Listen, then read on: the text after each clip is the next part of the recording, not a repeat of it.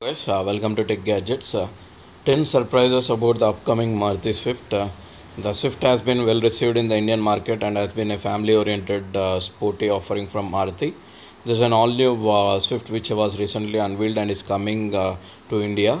So here are the 10 surprises about this. So for the first time ever maruti will be also be bringing in the sporty version of the swift the swift sport it will be powered by a 1.4 liter booster jet engine which makes uh, 138 bhp and the company is also considering bringing in the normal 1.0 liter booster jet which they unveiled in the Baleno just uh, last month. And uh, this will know at the launch of the date.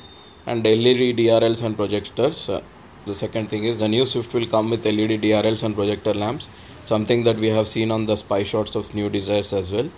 And this will make the Swift a lot more appealing to look at.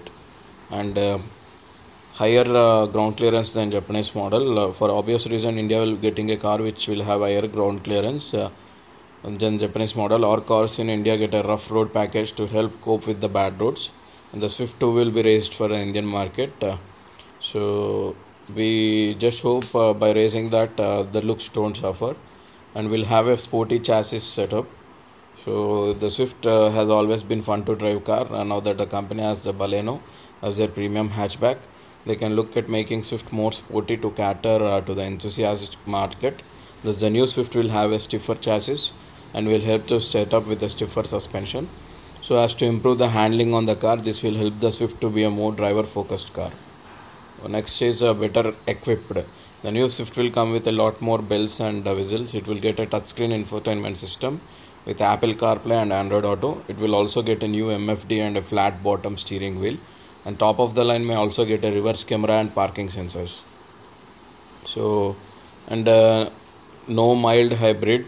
So there has been a lot of uh, chatter that the new maruti products will uh, get a mild hybrid uh, while the company is uh, uh, studying that feasibility of adapting the mild hybrid in their smaller cars. The, same will not be on offer on the swift initially. Currently it is only in ciaz and ertiga mild hybrid technology while the baleno and ignis receive it in the international market so it is not in India. And government also uh, taken uh, subsidies for mild hybrid. So that is also latest news and automatic for the first time ever. The Swift has uh, never had an automatic transmission in India market till this.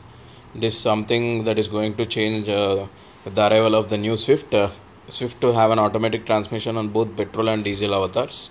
And the petrol maybe get the torque converter unit from the Dzire and could the AMT from the Ignis. The diesel will get an AMT though, and 1.5 liter uh, diesel in the works. Uh, so currently Maruti uses uh, Fiat 1.3 and 1.6 liter multi-jet engines on their range, and the company has uh, begun developing their own 1.5 liter diesel, which is uh, mostly likely may it, the Swift 8 liter and.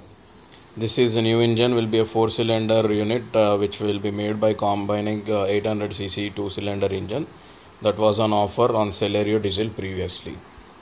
So it has better power to weight ratio also. The all new Swift is based on uh, total effective control technology body structure. It shares its platforms with all new Baleno and the new Swift has lost 120 kgs as compared to the outgoing version but it is bigger than the outgoing one and this will improve the acceleration and also help improve the fuel efficiency. And the car will continue to get the same engine options 1.2 liter petrol and 1.3 liter diesel. So hence the new vehicle will be faster uh, than the outgoing one. And the, the first time uh, since its inception the swift will come after the Dzire.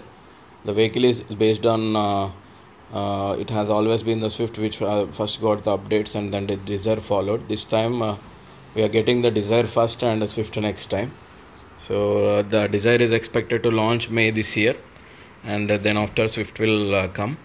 So hope that guys you like this update. Please comment and subscribe for my channel for more tech and auto related updates. Thank you